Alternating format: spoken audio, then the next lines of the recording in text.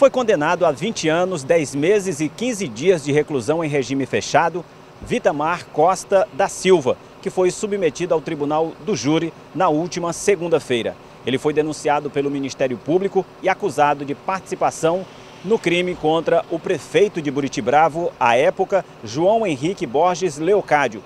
O crime ocorreu no dia 10 de março de 2005.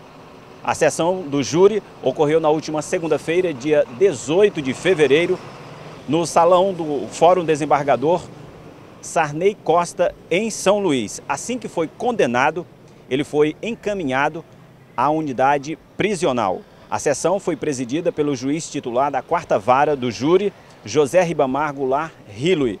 O corpo do prefeito de Buriti Bravo foi encontrado em uma estrada carroçal no povoado Gamileira, que é um, município, um povoado do município de Buriti Bravo, no dia 10 de março de 2005. Outras informações você acompanha em nossa programação Julimar Silva com imagens de Marcos Gonçalves para a TV Guanaré.